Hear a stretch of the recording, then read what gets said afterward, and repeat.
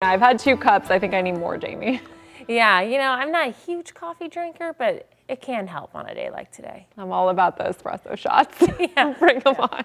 Yeah, well, you know, sunrise about 10 minutes, a little over 10 minutes away now. So the countdown is on to our first later sunrise here of the spring season. We have a sunshine here for the first day uh, where we lose this hour of sleep, but we'll have that extra hour of sunlight this evening. So I think a lot of people look forward to this time change, not so much the one in the fall. A 54 for normal today. That's our our forecast, so right where we should be. That record, 86 degrees. Unfortunately, nowhere close to that record. Even as we see warmer weather in the forecast over the next few days, I still think we will stay shy of those record highs, unless something were to change, which it could. But right now, it's looking like highs max out this week in the low to mid 70s, and most of our records are in the 80s for the week ahead.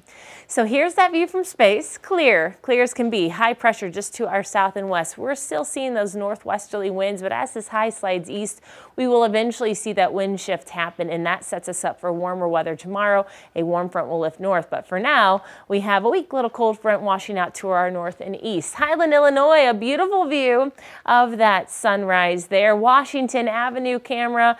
I really do like this view this time of day especially you can just see as far as you can see it's very uh, good visibility this morning. 33 feeling like 20, 28 with that northwest wind at 6 pressure this hour rising 27 in Alton, 29 at Scott Air Force Base, DeSoto 24. So DeSoto, you are now the coldest, but you don't have a wind chill. So many people feel like they're cold, as cold or colder than DeSoto. 22 is how we feel in St. Charles and in Litchfield, Illinois. So sunshine will help us today. The wind won't be as bad as yesterday, so that will also help us. So today should feel a little bit less cool than yesterday with those highs in the low to mid 50s. Overnight tonight, clear and cold again. Maybe not quite as cold as this morning, but it will be close. But by tomorrow, what's different is we will have that southerly or southwesterly flow, and that brings up in warmer air. It will be a fast warm up, highs touch